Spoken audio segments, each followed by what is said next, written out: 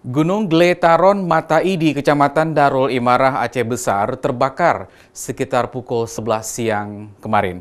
Kebakaran diketahui sejak api menjalar dari bawah tebing hingga ke atas gunung setinggi 800 meter. Kuat dugaan kebakaran ini terjadi akibat puntung rokok. Kebakaran tersebut cepat menjalar hampir ke seluruh bagian gunung karena angin yang berhembus kencang makin menyulitkan pemadaman. Selama beberapa jam, api yang datang dari bawah gunung dengan cepat menjalar ke atas dan hingga menyebar cepat menjadi 10 titik api. Kuat dugaan kebakaran tersebut terjadi karena puntung rokok yang tidak dimatikan, sehingga wilayah yang kering karena kemarau yang berkepanjangan sangat mudah membakar kawasan pegunungan yang banyak ditumbuhi tanaman dan pepohonan sekitar gunung.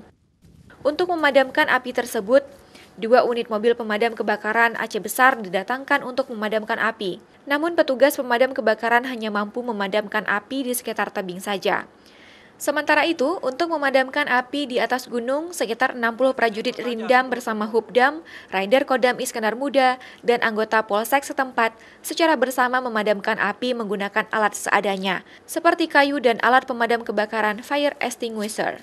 Titik kebakaran ada 10 titik sehingga kami e, beserta Koramil dan Polsek dan masyarakat setempat berbagi tugas untuk memadamkan api dengan cara manual atau tradisional yaitu dengan e, memakai alat seadanya seperti e, ranting pohon, kemudian alat e, pemadam e, kebakaran. Segala tenaga kita gunakan sehingga beberapa titik api dapat kita e, padamkan.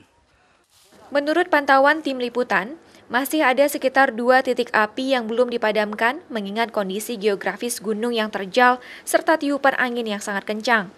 Namun personil TNI dan kepolisian serta pemadam kebakaran tetap tinggal di lokasi pegunungan Glitarun untuk berjaga-jaga apabila kebakaran semakin meluas. Mustajab, Kompas TV, Banda Aceh.